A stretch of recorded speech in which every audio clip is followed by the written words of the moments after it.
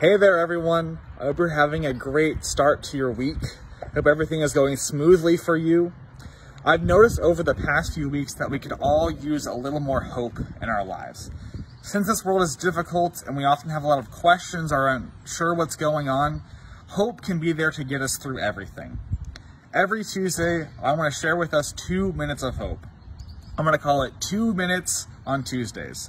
So in under two minutes, I just want to share a little devotional thought to give us all hope.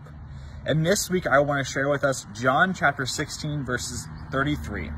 And it says, and this is Jesus talking at the Last Supper, I have told you these things so that in me you may have peace.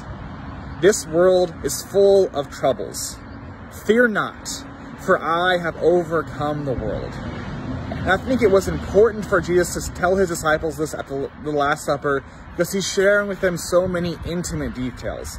And right after the Last Supper, he's about to be arrested, and he's going to be put on trial and eventually crucified. But before all of that, he reminds his disciples that he's overcome everything, that Jesus could not be held down by the powers of this world. And so when we are lost and we are unsure, when this world becomes too much for us, I just want us to remember how great God is and the power of Jesus and the guidance of the Holy Spirit. Jesus overcame everything and he died so that we could have a relationship with him.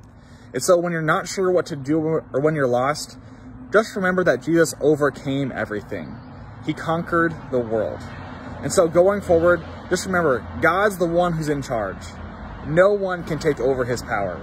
He is always there to guide us, even when things seem dark and difficult.